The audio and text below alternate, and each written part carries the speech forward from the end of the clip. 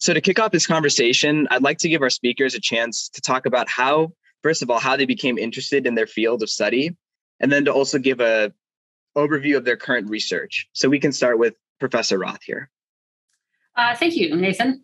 Um, so I, I, guess I was always interested in physics, and then my particular research area is sort of the study uh, of polymers, so long chain molecules, which falls under soft matter physics, which is physics without a crystal structure that's complicated and messy because it's got multiple, uh, you know, uh, some sort of complicated non-crystalline structure with multiple interactions. My my path into actually polymers was through a co-op I did uh, in high school and undergrad uh, with Xerox Research Center in Canada that was uh, studying uh, polymers in particular, like making new polymers for use as basically toner. So the, the print lettering that goes on paper and stuff like that. And so I had done this work and gotten interested in polymers. Uh, and then it turned out I could do that in graduate school. So I kind of sort of pursued it sort of that way.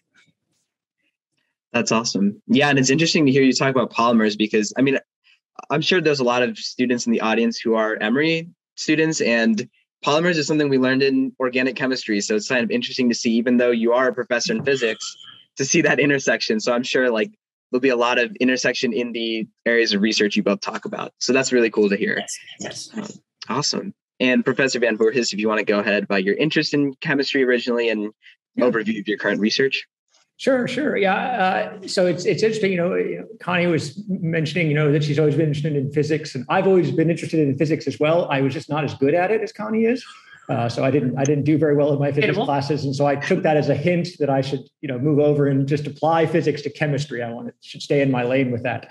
Um, but seriously, I, I probably my first uh, memory of becoming really interested in science is, is kind of an ironic one. It was when I was in seventh grade, uh, there was a big, big announcement that made the news uh, that people had just, that some chemists had discovered fusion uh, in an electrochemical cell. Uh, and this was later determined to be bogus. It was not correct. The, the science eventually won out that that was not right. But I was in seventh grade, I found that so fascinating that something that big could be undiscovered or even that people could be unsure if it was false uh, based on the disc. And I, so I said, you know, that's the kind of thing that I want to do. I want to, I want to study those kinds of problems. Uh, and I can't say that that I can draw a through line from the, my 13 year old self up to, you know, up to myself now, but, but it, it's probably not a coincidence that you know a lot of the problems we work on now uh, are renewable energy related, uh, and we actually do a fair bit in the lab that actually is related to electrochemistry. Um, uh, and uh, you know, I think it sort of tie together the things I was originally interested in, but you know, using a new set of tools as I've, I've, I've grown up and learned new things. Awesome, great, thank you so much, both of you. So the first question, or rather, set of questions I have is, where do you come from in terms of approaching science and faith? Uh, what have your experiences been, if any, when it comes to these two topics together? And we can start with Professor Van Voorhis. Yeah, um, thanks, Nathan. Sure. So, so for me, I grew up uh, going to church. Um, uh, uh in, in uh, my parents uh, were both Christians, um, but I actually left Christianity when I was in college, um, and uh, you know, only returned late in my graduate career. And so the result is that you know, while my faith is central to who I am, my ultimate final embrace of those beliefs only came after the majority of my sort of scientific development had happened. Uh, so I haven't. I've had to think a lot as an adult about how how I fit those things together, and and you know, largely for myself within my own worldview, I find that they fit together quite quite well. Uh, you know, the things that I've observed uh, about that maybe are more challenging um, is that I've I've observed that many religiously devout individuals are are pretty profoundly uneducated about science. Uh, and I don't necessarily think it's that their beliefs are in conflict with scientific evidence so much as they're just not engaging with science.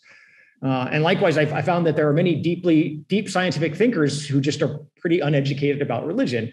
And I don't think in many cases that they've is that they've you know analyzed everything and found it wrong. They just assume it to be not as important as science.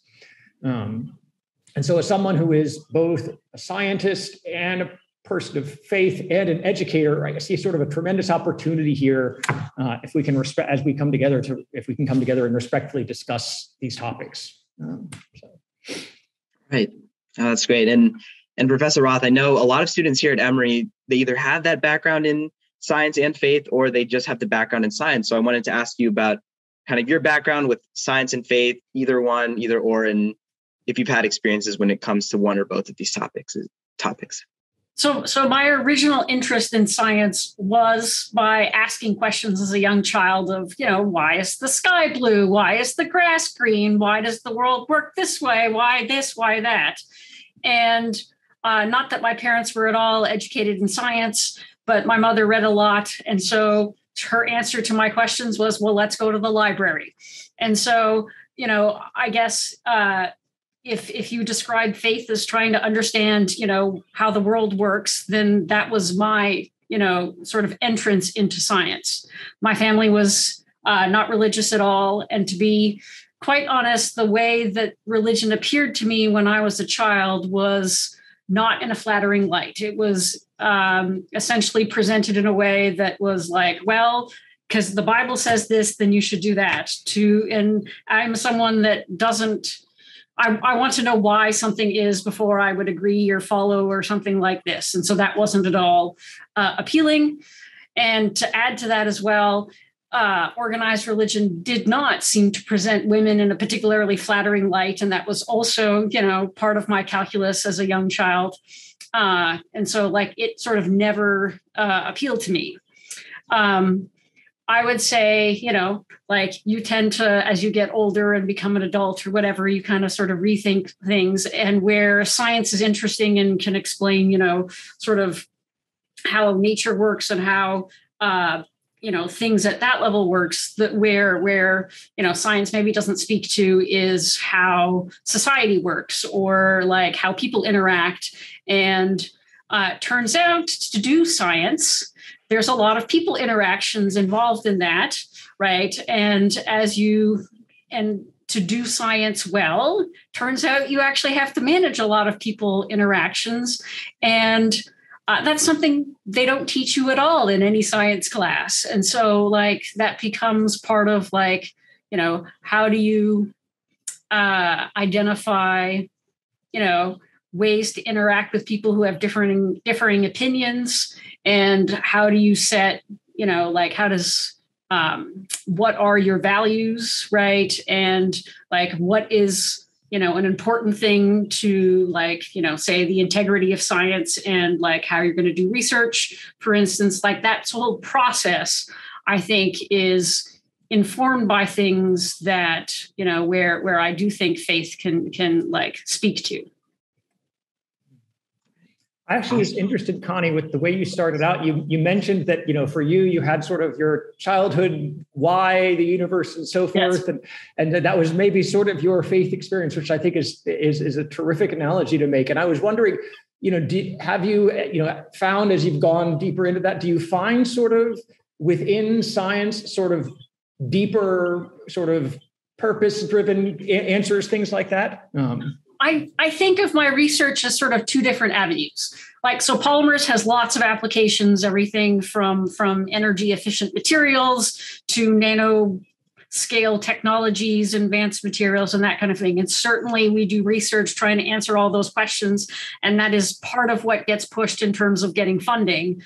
But then um, physics has always appealed to me in the sense that it tries to ask very sort of fundamental questions. And soft matter in general like one of the big picture questions is you know how do messy complicated things that are not just simple two particle interactions you know work? And how much is are there similarities between you know uh, a polymer that's a glass, so basically a frozen in molecular structure, to say uh, a pile of sand and uh, window glass and um, you know emulsions and things like that. So like there's sort of you know something asking sort of fundamental questions at at that level. And I always sort of I guess you know if I've I do, you know, if you ask me if I have a faith, it would be, you know, science in that sense. And you know, asking like, what is the fundamental question that governs if there's something overarching that governs a lot of different areas you know that that does make you feel like you're peeking behind the curtain in terms of like trying to understand some b- deeper meaning of the universe, as it were, right? Yeah. Thanks. Absolutely. No, those are those are great points, and it's interesting to hear your your like unique and interesting take on a different sense of faith that I think a lot of people in religion don't really think of in that sense. So that's that's awesome. And it actually leads me into my second question for you both. So as researchers in different STEM fields, what do you believe are the strengths and weaknesses of trusting science as a means of gaining knowledge? What about trusting faith and religion as a means of gaining knowledge? And we can start with Professor Roth. So uh, let's let's start first. Like, so when you do research, right? Even though at the undergraduate level things are separated into physics, chemistry, biology, and so forth, these are distinctions that were made like hundred years ago. Um, at the research level, everything is intermixed, right? So I do research that would equally fit, yes, under soft matter physics, but equally fit under physical chemistry in a chemistry department or in the material science and engineering department, or, you know, like, so everything is sort of intermixed um, from that. And when you do research, it's always trying to push the envelope on like what we know or don't know. So I would say like the people that are, are doing the research are very clear in their mind for their field of okay, this is what's known. This is what we suspect is true and we have reasonably good things of like, you know, that that this is likely true but we haven't yet you know found completely the experiments that prove you know that that show that you know really definitively. And then we're speculating about what might be true and there's only you know hints of information that you know this is you know perhaps right or whatever. And then we're fully aware that over here is a whole bunch of stuff that like we haven't the foggiest clue about stuff we don't know or whatever. And you sit at that forefront. And as you do science ever slow slowly this evolves. Yeah.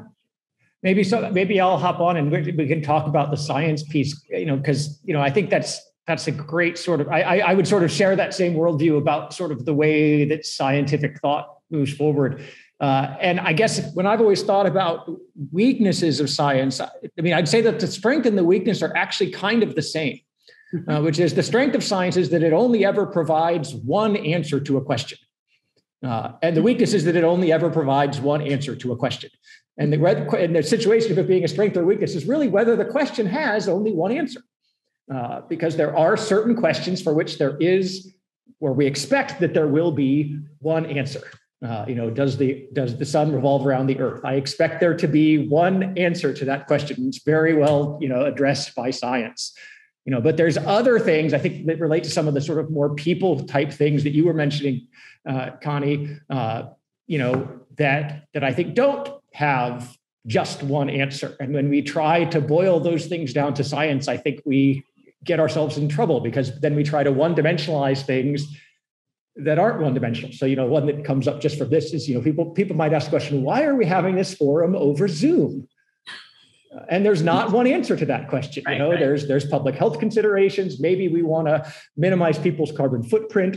Maybe the you know maybe nathan has stock in zoom. You know there could be a, a whole bunch of reasons that we decided to do this.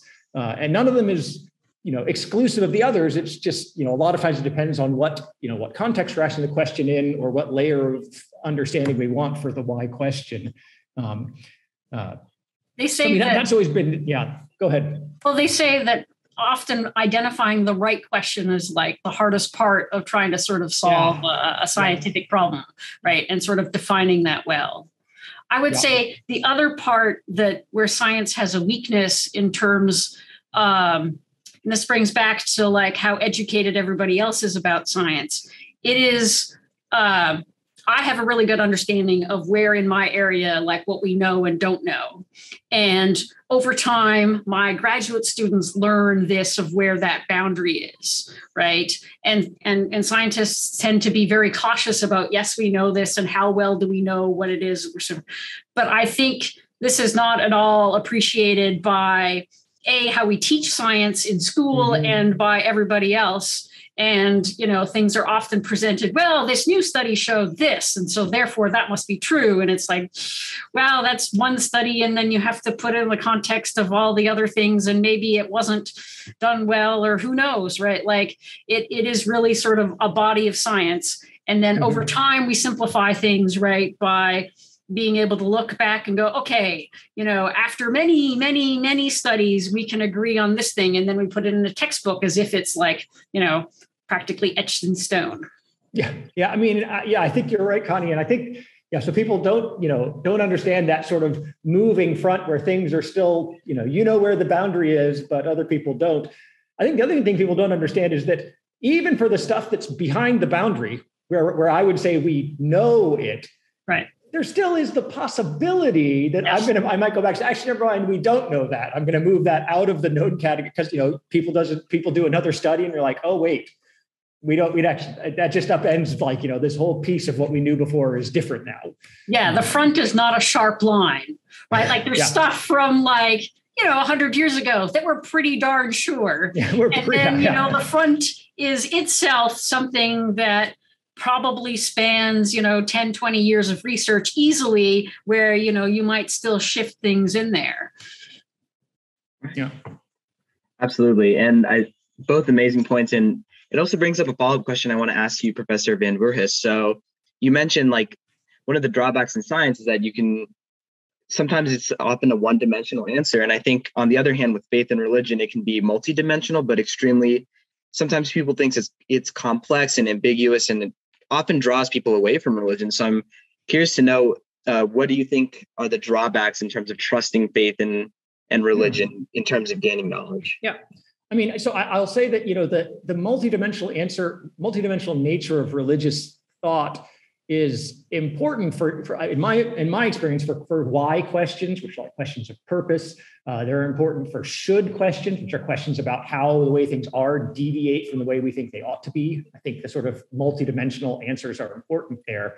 Um, and I don't think that there's really a weakness of religious thought per se, except for the fact that I, I do see a tendency of some religious uh, people to rely solely on religious thinking to the exclusion of all other forms of thinking.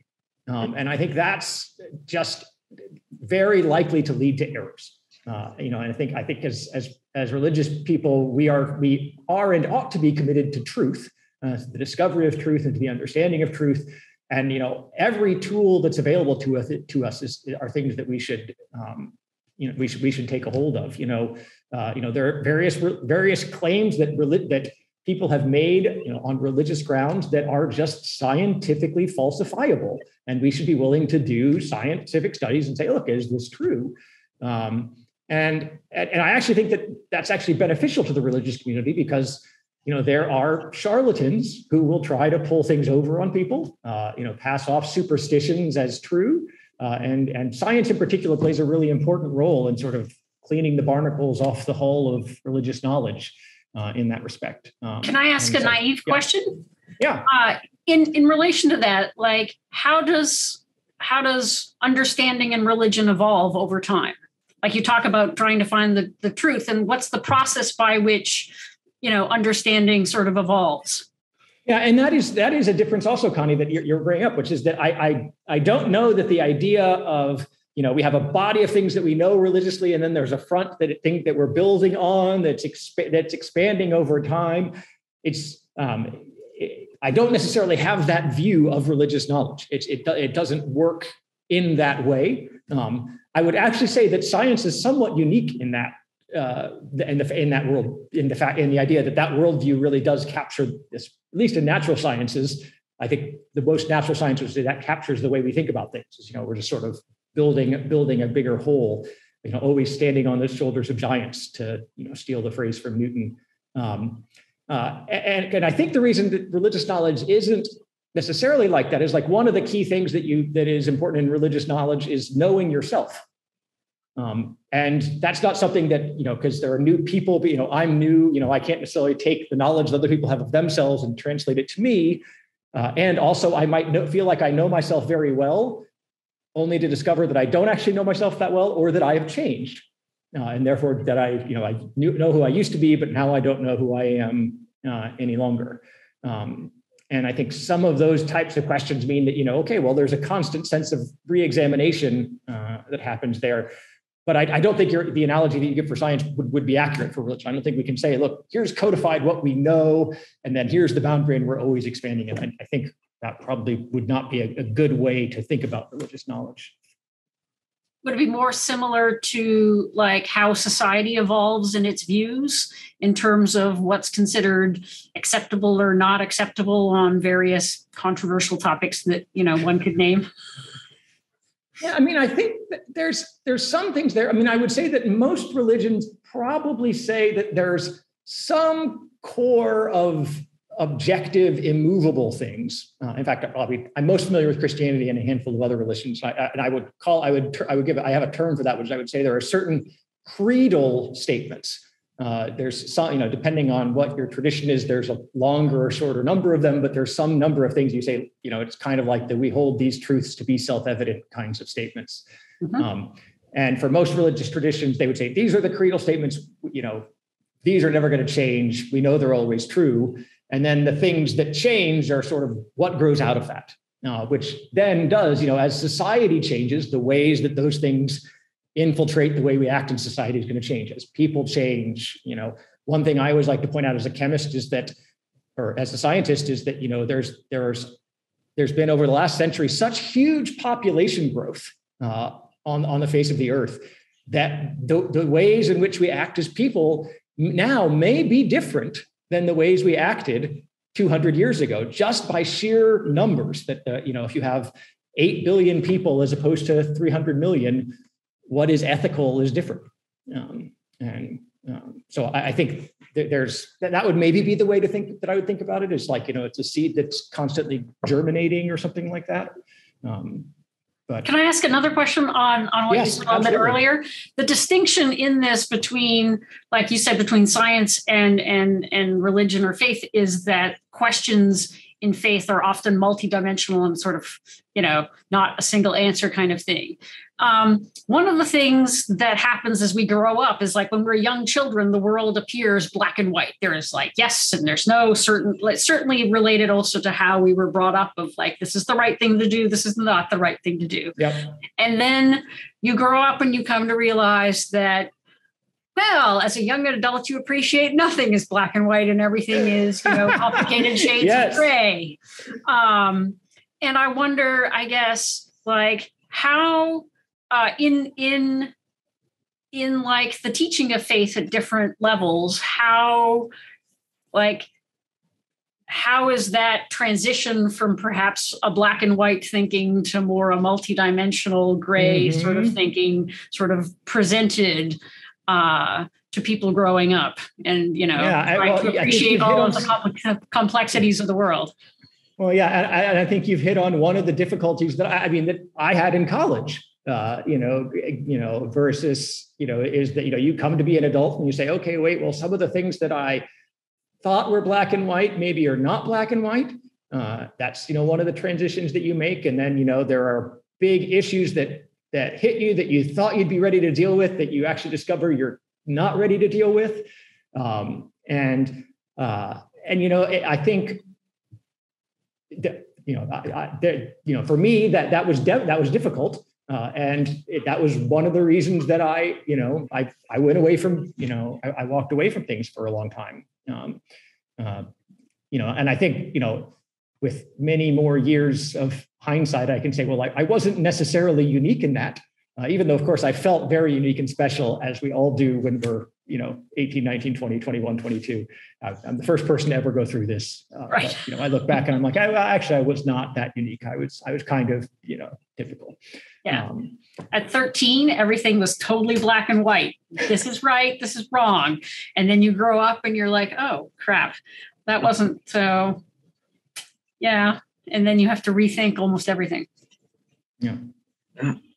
Awesome. Yeah. Thank you both for your comments. And what's interesting is you both mentioned in your in your explanations the pursuit of truth. And I think especially in what we hear a lot is we we hear that science versus faith is portrayed as a conflict and really these are both ways that we can pursue truth. So it's really interesting to hear both of these views and how you both have that motivation to pursue truth. And i want to follow up with a very quick question for both of you. So as you probably know from your own experiences in research and in stem the pursuit of truth often requires a lot or often includes a lot of challenges. So I'm curious to know, and we can start start with Professor Roth, whether it's generally in the in the field of physics or specific to your research or both. What are some of those big challenges that you've encountered in terms of pursuing that truth and advancing knowledge in the field of physics? I mean, there's the mechanics of doing research. And as an experimentalist, not all experiments work. And so there's just the like getting that to work. Um, but like you kind of know that going in. Mm-hmm. Um, there's also the piece of like research is done by people, right? And so um, and certainly in an academic environment, research is done by students, graduate students primarily, but also undergraduate students, where, you know, these are people that for which, you know, they are coming to appreciate that everything is complicated and gray and not simply black and white. And so sometimes then you have like, um, you know, as it were i don't want to say people issues but like just in terms of like you know uh the the what's it like you know so that people stay motivated to deal with doing research that can be quite frustrating often um and you know the interactions of like if people do collaborations or work together on a project how those interpersonal interactions work and things like that and often i would say uh, this is what I've come to appreciate. I say this also having been like director of graduate studies, for instance, is that, you know, the people piece of how we carry out research, I would say, is by far probably the more complicated piece in terms of like trying to sort of sort that out.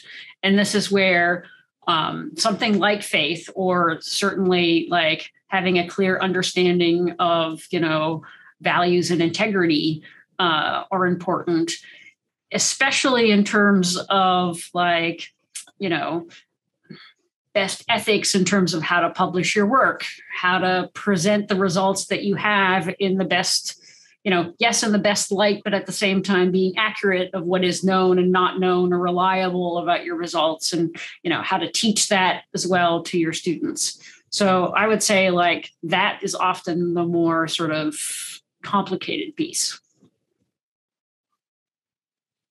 Yeah, I, I, I, agree with you, Connie, that I think the, the people pieces can be complicated, is very complicated. And I think there's also the issue of like just the mechanics of doing things. And when it's not working, it's discouraging. Uh, and you ask questions about, am I ever going to succeed? Am I ever going to make it? Is this ever going to work? Or am I just wasting my time? And I, I mean, and I also think sometimes, even if for some of the things I'm working on, I'll think, well, even if this does work, is it really going to matter? Uh, because you know you know being fair you know much of the research that we that that I do is you know curiosity based and a lot of curiosity based stuff may end up may may turn out that it only satisfies my curiosity.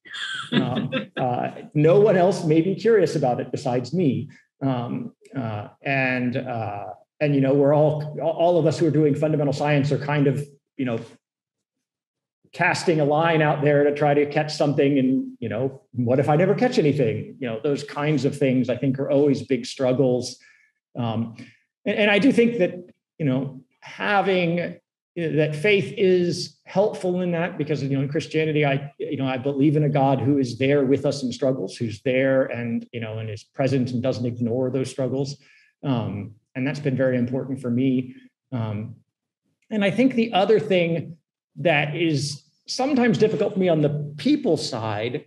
Um, and I, I, hesitate to say this because I don't want to make my scientific colleagues sound too bad, but there are, you know, many people in who I encounter in science for whom their scientific reputation is very, very, very important to them. Uh, maybe I can put it in that most kind way, but that doesn't necessarily, it's important to the exclusion of other things that I would call sort of just normal basic human values. Um, uh, to where, you know, preserving, I'll put, I'll call it myself, preserving my own scientific reputation, I will use to justify just about anything. Um, and that's, that's always you, difficult for me to, go ahead. Um, just, can you parse that at the level of like, scientific reputation related to like ego versus scientific reputation related to like integrity of the science because yeah, part so, of like how our community views us is also like well yeah, yeah. You know, no I, am I'm, I'm speaking more related to the ego that's what um, i thought uh, of course there's a there's a gray line of what is ego and what is this really is what is right. I really ought to be rec- and, and what is rightful recognition for accomplishments.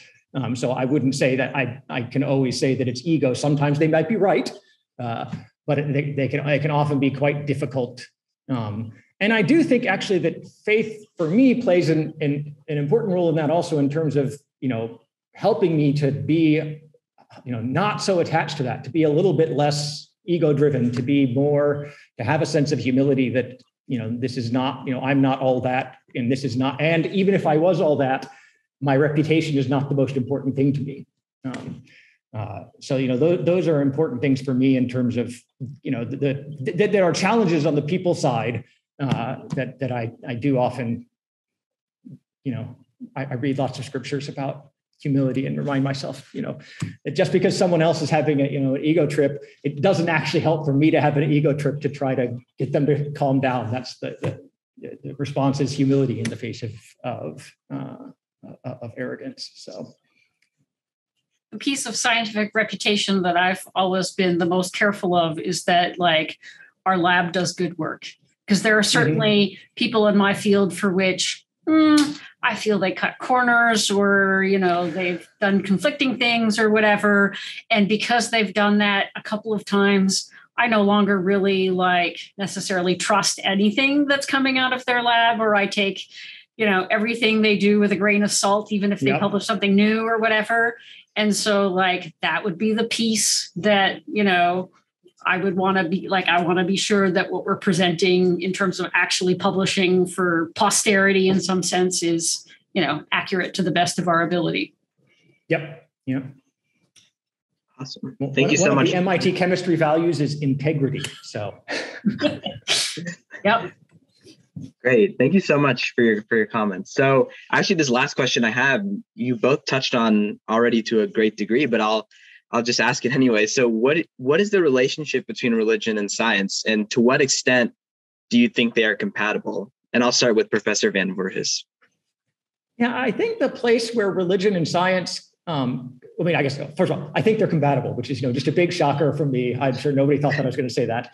Um, but you know, I think the place where they come into play with each other is in decision questions. Um, so, you know, we can talk about abstract knowledge claims and so forth, but the, the place where science uh, and and and religion, I think, really come together is when we're trying to make a decision.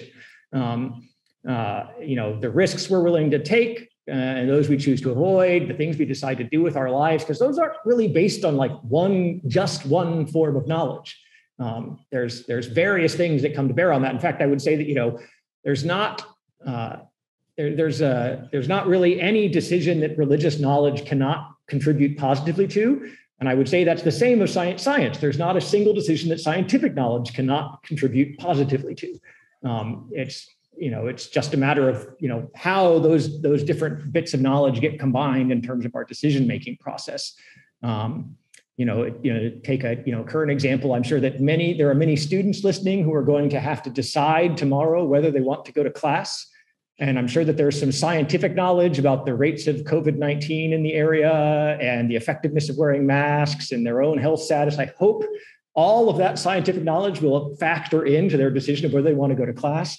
There's also probably questions about how much they love knowledge uh, and the value of spending time with their peers uh, and you know how wonderful the instruction is those will be factors that come in you know but these are all um, things that that come together it's not you know it's it, the, the decision has many factors in it in terms of how we make that make that choice. And i think there are there are a number of things about that you know religious knowledge is if nothing else designed to help us make decisions about our lives. Uh, and i think if you don't also take into account you know scientific knowledge which is good at predicting consequences of actions uh, if nothing else uh, if not values of them, uh, you know, you need to know what the con- likely consequences are going to be, and, and I think science is really important for those things. So that's sort of if I if I see them as you know being compatible, I see them as sort of you know as as, as two sort of pillars upon which we can build this, we we build decisions uh, with other you know pillars also. But. I would I would add to that. I like the idea of thinking about it in terms of decisions, but I would add to that there are like small decisions and big decisions. So like a small decision would be um, in terms of certain we're not not necessarily small decision but like something that like sort of everyday things would be deciding you know who's part of the authorship of this publication when there's multiple people working on a project and these are kinds of things that you know are questions associated with values and ethics right? And is actually part now, uh, as of some five plus years ago, something that both the National Science Foundation and the National Institutes of Health have required that is part of the teaching for graduate students doing research, um, because these are important questions that you know historically haven't necessarily been part of the education. And then I also think science and faith have, or you know, values are really important in terms of really big questions associated with sort of our society. So, like science will make things, um, you know, like nuclear reactors and nuclear bombs. And then, of course, you know, should we be using them? And that's, you know, the thing that was made, you know, 70 years ago now. Um, but, you know, there's equal questions sort of happening in terms of like in biology to the extent that we can make alterations to our DNA should we be doing any of that? And then, uh, you know, in terms of computer science, we're hitting on artificial intelligence and all sorts of things. So, like, you know, science allows us to do many things. And then the decision piece is should we? Mm-hmm. Yeah. Absolutely. And actually, so technically there's four more minutes until audience questions, but I do want to bring in one as a follow up just because it's related to our talk about the compatibility of science and faith. And this one is for you, Professor Van Voorhis. So, um, so Hope asks, have you ever been looked down upon by colleagues or others in your field because of your faith? Yeah, no, I I don't think so. Um, I mean, I not not not they, I, they do they haven't said it to my face i guess the uh but uh you know you know i think the closest i ever got to that was um, you know I've I've done a I've done a number of talks and and discussions and panels like this and so forth. And uh, one of my uh, one of my colleagues had you know seen several of them on you know they Googled me and it, one of these came up and they watched it and so forth. And they gave me a, a, very careful warning. They said, "I think it's great. I, you know, I watched. I really, you know, enjoyed what you had to say, but you should be careful with what you have to say because, you know, ultimately you might want to get into the national academy someday and i don't know if they're going to like that. Uh, so it was not that person looking down on me but they thought that someone else might look down on me. Hmm. uh, and i was you know for a moment i was afraid of that and i was like well you know if that happens that happens. It's you know not not under my control. Um, uh, so i mean i think there is and I, I, so I haven't ever encountered anyone face to face who I felt like looked down on me, but there are people I think who expect others will look down on me for it. So can take that for what it's worth, I guess. Maybe people have uh, lower expectations of others than they have of themselves, maybe. Mm-hmm. To be honest, I find that surprising because I've never really ever thought from any of my colleagues, what do they think in this area? Like it was just, it's never something that's ever crossed my mind. Yeah. I mean, yeah. And that's, I would say, Connie, I would say that's by and large the, the what I've encountered too is I could say nobody's looked down on me because I mean, I don't, I don't know that they look down or up or even sideways at me. Right. It's just, you know, it's just not something that, that, that they, that they're, you know, asking about. And then the ones who are sort of in, you know, into asking those kinds of questions have been very respectful. Um, uh, and so I would say like the one piece is like, you know, what are the values of the other people that you're working with right? And that yeah. certainly you know is a piece to it of which i would assume that religion and faith informs what a person's values are. Yeah. Absolutely. And one more quick question for both of you before we go to the q&a is a lot of students in the audience here are interested in pursuing uh, research or careers in fields of stem. So what advice would you give them as they really want to pursue these stem endeavors? And we can start with uh, professor roth so, hmm, I'll try and keep this. I guess the probably the central piece I would say is the separation of physics, chemistry, and biology um, doesn't really happen once you leave undergrad. And so, having as much as possible a broad knowledge of you know multiple areas of science i think is highly beneficial and i say this from like experience because i didn't do this you know i studied physics and took my one requisite like intro physics or intro chemistry in my freshman year and then promptly thought never going to have to deal with chemistry again. And then turns out my research is like completely overlapping with chemistry. And so I had to sort of go back and learn, you know, stuff that perhaps I should have learned as an undergrad. To the point that as a young assistant professor, I went and sat in on the whole year of organic chemistry here uh, you know, the person at the back of the class, please, you know, just teach me uh, the stuff. And part of it had to do with the fact that I was now responsible, right, as a professor for writing things in publications and not getting them wrong, like, and not getting stupid stuff wrong, like, is that an ether group or an ester group? I'm not really, you know, and so it is. If you don't learn it as an undergrad, uh, there's possible that you're going to have to go back and learn it on your own.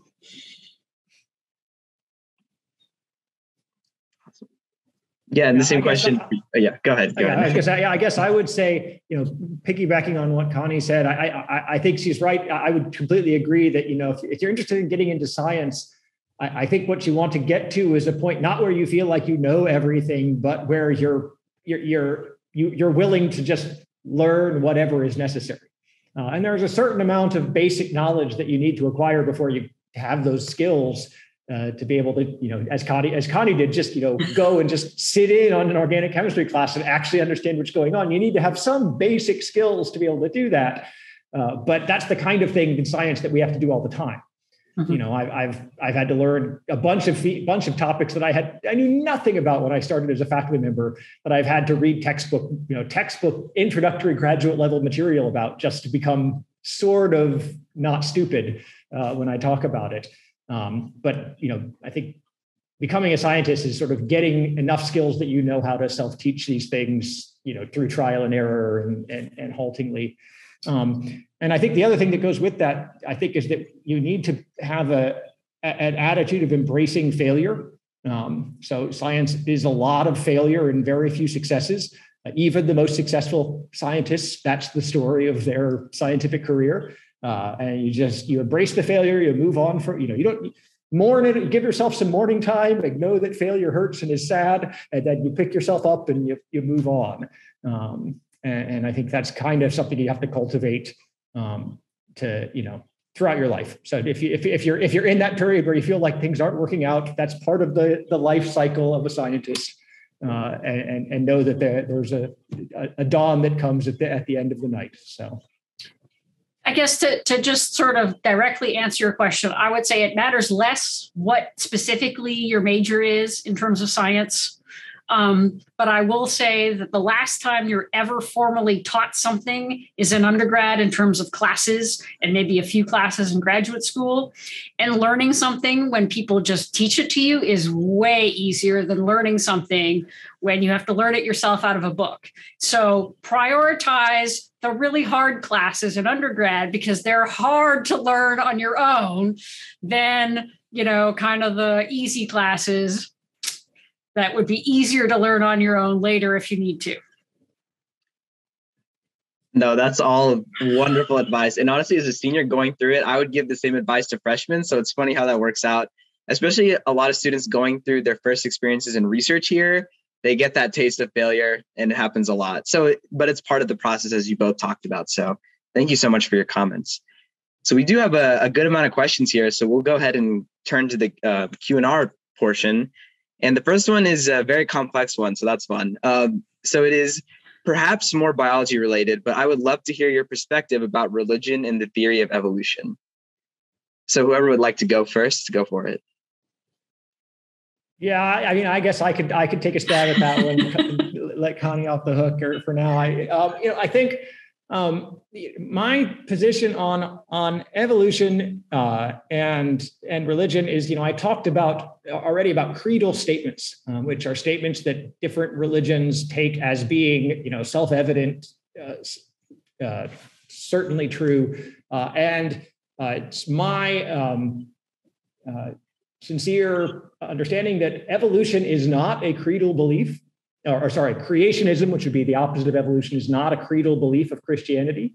Um, uh, in fact, you know, I think there are very few of the world religions that have creedal beliefs about uh, origins. Um, uh, and so I think that, you know, my understanding is that, that therefore within Christianity, uh, origins, origins of life type questions are things where, you know, yes, religious knowledge, you know, religious, you know, uh, investigation has something to say about that, but in the sense of you know religious investigation doesn't provide you just the one answer, as we discussed. You know, it provides depending on what you say. You know, what is the origin?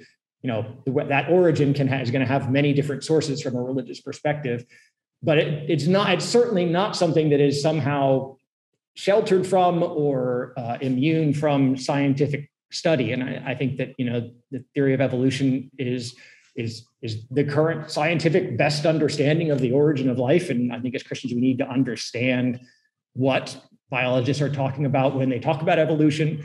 Uh, and and uh, yeah so that's my my position on that. I, I'm, I'm not an expert in all world religions so there may be some world religions that are creedally in conflict with evolution but i don't think christianity is one of them. I think in my mind this was kind of why i asked like how does uh, truth or understanding in in different faiths get updated over time right? Science is very good about we know you know we can say something about these things and then we haven't gotten to this so we can't say anything about this right? So there are things that we can and can't. And that evolves over time right? Where you know we can say something about sort of the origin of the species now where a thousand or two thousand years ago we couldn't and, you know, I assume that faith and religions often have to uh, say something about topics for which there isn't a scientific answer yet, right? And certainly there were, you know, various things that were put forth many, many, many years ago. And that's why I kind of asked the question is as science evolves in, in its understanding of providing new information, how does that impact then yeah. truth and understanding in you know in the context yep. of, of religion yeah and i guess to, to, piggyback on that connie i mean I, we can look historically at some of these things uh, and you know over time because there are older scientific questions that are now not as controversial like you know does the sun revolve around the earth right. And you know, I think we all know this. Not we may not know all the details, but everyone knows that there was conflict between mm-hmm. the Christian, the Catholic Church, and and the scientific establishment, the emerging scientific establishment over that point. Um, but the, the current position of the Catholic Church uh, is that Catholics can believe either that the sun revolves around the earth or that the earth revolves around the sun. It is not a creedal statement. It's not like it's not that the Catholics have now said, oh, Catholics must believe that the sun, the earth revolves around the sun. It's the, the, the realization of, wait a minute, this is something that is, you know, it's not a statement that is Catholic.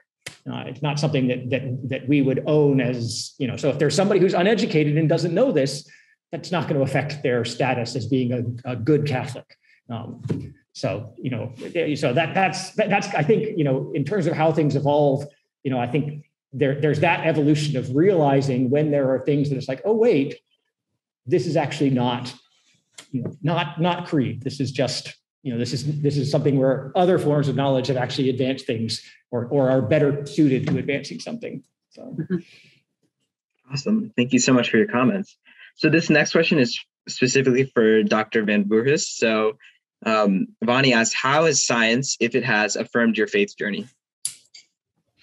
Yeah, I mean, I think there are, um, you know, there are various things uh, about science that, that that are reassuring. Um, you know, I, I, think the you know that are that are sort of reassuring to me in terms of how I think about things because there are you know there are various questions that I think are pretty difficult to answer. Um, uh, and as someone who does a lot of mathematics applied to the universe. I mean, one of them is the, is the simple question of why does math work so well in describing the universe around us? Um, that's that's one one question that I have difficulty. I have difficulty even conceiving of how answer science would answer that question because it's that kind of question that's it's a why question, it's a purpose question. It, you know that math works, we can we can validate, but why does it work so well?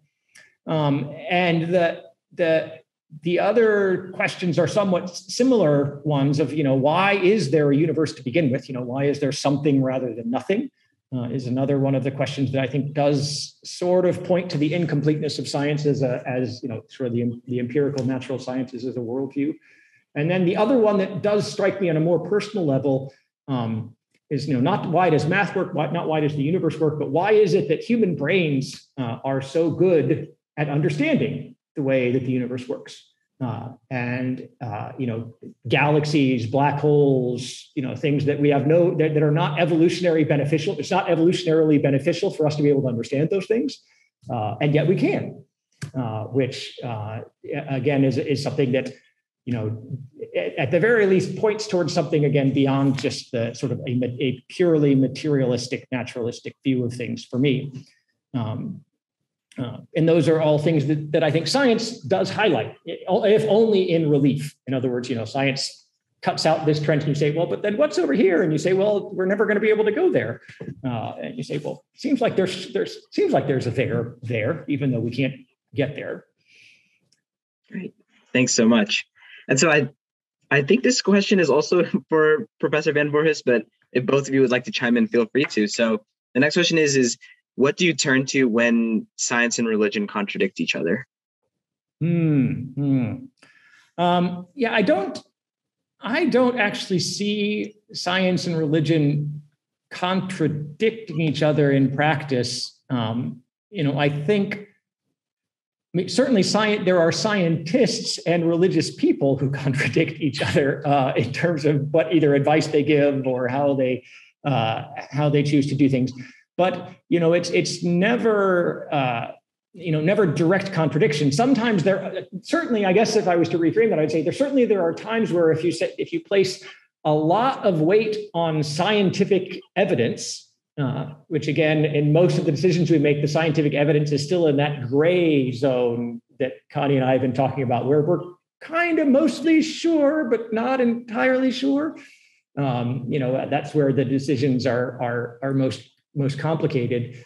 So when you're in that situation where you've got a decision where the science provides some direction, but it's in the gray zone, but maybe your understanding of your religious tradition may also push you in another direction and how you actually uh, come to uh, grips or a decision in, in that situation, I think is the is the challenge. Um, and there, I think you know there's is not much different than, than any other kind of knowledge that would come to bear, which is that, you know, I think nothing excuses us from having to think things through uh, and to talk them through. And if you're, and in Christianity, we have another avenue, which is prayer, which is also a way, it's a conversation with God and it's, it's thinking about things and bringing God into the conversation. Um, I think there's, you know, we have no excuse to not use all of those things if we have, have a decision where, you know, the different forms of evidence seem to be in conflict. I would I would add to that. I mean, along the lines of we've been talking, there's lots of things that are complicated, and messy, hence sort of the gray sort of area. And I would say when you encounter something like that, and especially if you're in a position where you have to make a decision about something in this sort of gray area, um, the idea of sort of reflecting back on your own values and what what you know are the things that are meaningful to you in terms of like what is important in terms of making that decision usually sort of has that sort of biggest impact. Um, i'm pretty sure i've read somewhere in terms of like our biology we get the most anxious when we do things that are contrary to our own values. So it's part of like knowing and understanding your own values because that will, you know, ultimately bring you peace into what like with whatever decision you make as opposed to being sort of, you know, very anxious. Like I'm the most anxious if I'm feeling like I'm forced to make a decision in a way that's contrary to my own values. Um, and I would, I guess the piece that I've come to think related to, to prayer, which I don't do, but I do believe strongly in the importance of like reflecting on your own thoughts and having downtime, uh, you know, with your own thoughts which is something that our current society that has you know input from social media and email and everything all day long is so i think it's very important to di- be able to disconnect and reflect on the things that are important to you and how you know eventually how to sort of deal with you know making a decision in this gray area. And often it can be that disconnecting allows your subconscious to sort of deal with all of the complicated mess and sort of arrive at things